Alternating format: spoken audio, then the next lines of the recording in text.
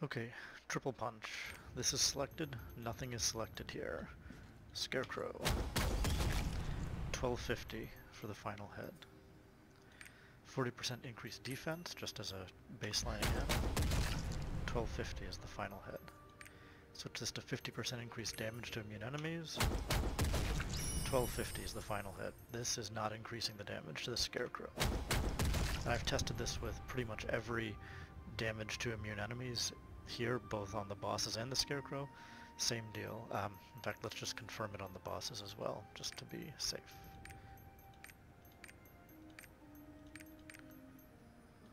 Uh, 1217.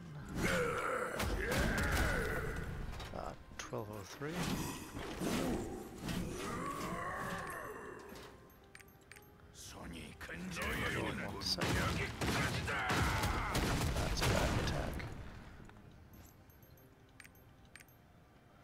12 on 7.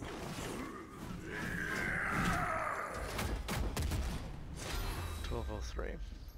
No difference. This one did slightly more damage.